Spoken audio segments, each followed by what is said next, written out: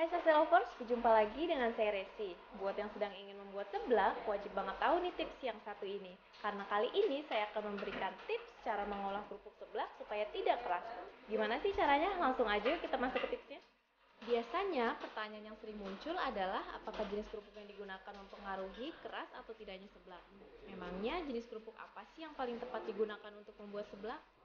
Sebenarnya, kerupuk jenis apa pun bisa dibuat jadi seblak lovers. Bahkan kerupuk udang dengan ukuran yang besar pun juga bisa loh.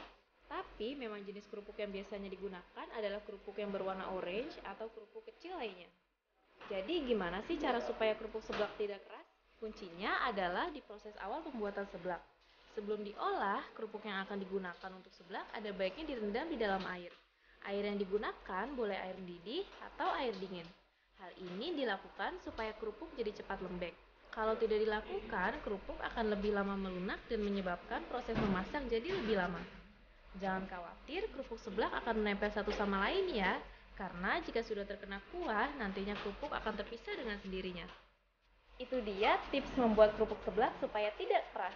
Gimana Lovers? Mudah banget ternyata ya. Jangan lupa dipraktekin di rumah ya. Dan jangan lupa like, comment, share, dan subscribe YouTube channel kita. Bye-bye!